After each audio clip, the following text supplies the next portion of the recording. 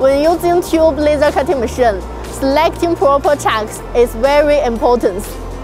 Today we will compare common chucks with Senfeng's high precision chucks in Tote 4 Plus series.